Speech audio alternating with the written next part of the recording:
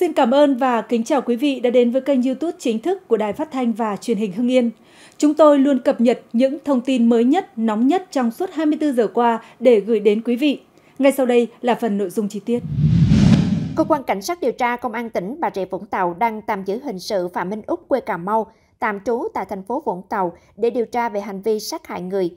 Phạm Minh Úc là nghi phạm trong vụ sát hại nữ chủ quán cà phê nhàn ở thành phố Vũng Tàu.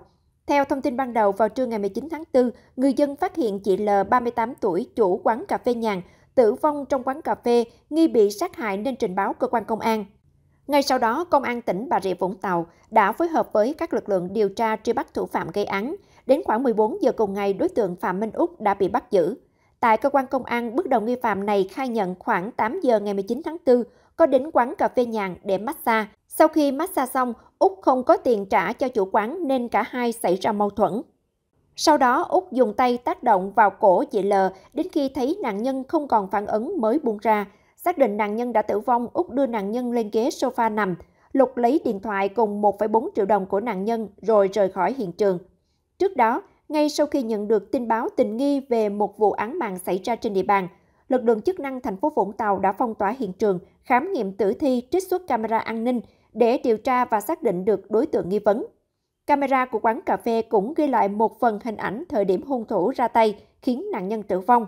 Theo đó, hung thủ là nam giới, mặc áo đỏ, quần ngắn, đội mũ đỏ. Sau khi ra tay sát hại nạn nhân, hung thủ cúp điện, khóa cửa cuốn rồi lên xe máy bỏ chạy. Chỉ vài giờ sau khi xảy ra vụ án, cơ quan điều tra đã bắt giữ Úc khi đối tượng này đang lẫn trốn. Mới đây, Phòng Cảnh sát Hình sự Công an tỉnh Hà Tĩnh đã phối hợp với một số đơn vị tiến hành bắt giữ nghi phạm gây ra vụ cướp tiệm vàng Kim Sơn Hiền, thị trấn Nghèn, huyện Can Lộc, tỉnh Hà Tĩnh, khi nghi phạm này đang chạy trốn lên một tuyến đường ở thành phố Vinh, Nghệ An. Danh tính nghi phạm được xác định là Nguyễn Minh Toàn, sinh năm 1994, trú xã Thạch Trung, thành phố Hà Tĩnh. Cơ quan công an sau đó đã lấy lời khai, làm rõ nguyên nhân vụ án.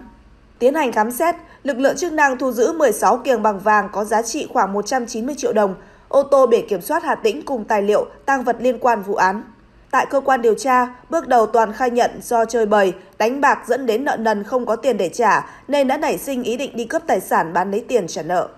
Tối 17 tháng 4, Toàn lái ô tô nhãn hiệu Vios di chuyển trên quốc lộ 1 hướng thành phố Hà Tĩnh đi thị trấn Nghèn, chạy lòng vòng để quan sát. Khi đi qua cửa hàng kinh doanh vàng bạc Kim Sơn Hiền, nhận thấy sơ hở nên Toàn đã chạy xe đến chỗ vắng lấy băng dính che biển số xe, quay lại đột nhập vào tiệm vàng dùng búa đinh đập vỡ tủ kính. Chỉ trong vòng 6 giây, Toàn đã lấy đi 16 kiềng vàng trị giá khoảng 190 triệu đồng rồi lên xe tẩu thoát. Sau khi xảy ra vụ cướp, bà H, chủ tiệm vàng Kim Sơn Hiền chưa hết bàng hoàng mỗi khi nhớ lại.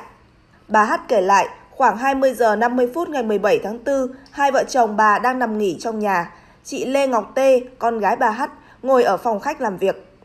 Thời điểm trên, bất ngờ nghe nhiều tiếng động chát chúa phía quầy bán hàng, bật dậy xem thì phát hiện người đàn ông đang luồn tay vào tủ kính lấy trộm vàng. Chưa kịp định hình, chị Lê Ngọc Tê lập tức lao ra khỏi nhà, cầm điều khiển tivi ném vào nghi phạm và chi hô hàng xóm. Bà Hát nhớ lại, kẻ trộm đã chuẩn bị từ trước, đậu xe trước cửa để theo dõi tình hình.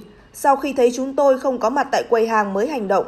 Sau những tiếng va đập lớn, chỉ trong 6 giây, tên cướp đã vơ lấy vàng, lao ra xe và phóng khỏi hiện trường trước sự ngơ ngác của hàng chục người. Quá trình gây án, tên cướp bị mảnh kính rạch vào tay chảy máu. Hung khí là chiếc búa phá kính cũng bị bỏ lại hiện trường. Tên trộm nhanh chóng dẫm ga bỏ chạy, trốn thoát khỏi hiện trường trước sự chứng kiến của nhiều người. Ông Ngô Đức L, thợ sửa xe trước cổng tiệm vàng Kim Sơn Hiền cho biết, thời điểm xảy ra vụ việc có rất nhiều người đứng xung quanh tiệm vàng, nhưng tên cướp vẫn liều lĩnh gây án và bỏ trốn. Ông L cho biết, tên cướp trên tay cầm nhiều kiềng vàng và lao ra xe, một số vòng vàng còn rơi vãi trước cổng tiệm, hiện trường nhốn nháo. Do tên cướp bịt mặt nên lúc đối đầu ông L không nhìn rõ nghi phạm, sự việc diễn ra quá nhanh nên không ai kịp trở tay, chỉ biết nhìn tên cướp tẩu thoát. Mới đây, Công an huyện Rong Bắc, Đắk Lắk cho biết đơn vị vừa ra lệnh giữ người trong trường hợp khẩn cấp 7 đối tượng để điều tra về các hành vi hiếp dâm và không tố giác tội phạm. Trong đó, Ai Khắp 22 tuổi, Ai Hở 24 tuổi, Ai Khăn 23 tuổi bị bắt về hành vi hiếp dâm.